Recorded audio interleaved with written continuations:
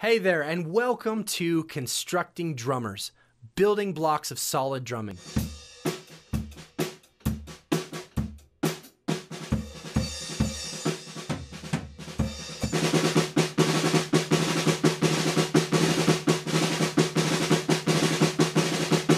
If you're just getting started on the drum set or you're finding you're running into all kinds of mountains down the road when you get into harder styles and you just don't know how to get over those humps, sometimes backtracking or starting from the right place is what you need.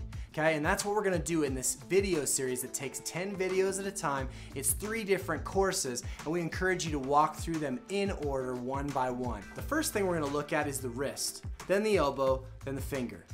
10 videos on the wrist, 10 videos on the elbow, 10 videos on the finger. The wrist is where control happens. We learn to control this stick and tell it what to do first. Then we move to the elbow and we train that stick how to be powerful. We want to pop those drums. We want to give it versatile range so we can play anything loud and soft that might be put before us. Our very last step is to introduce us to the fingers, which produces the speed. It's what everybody wants, but everybody tries to do it in the wrong way. They try to make speed happen with the wrist, and they get tensed up, they get injured, they get tired.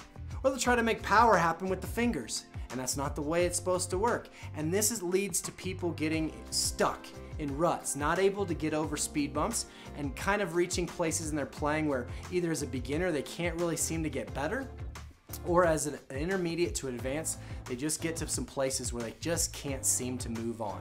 And what we do when we're failing in basketball, we come back to what? Dribble, pass, shoot, the fundamentals.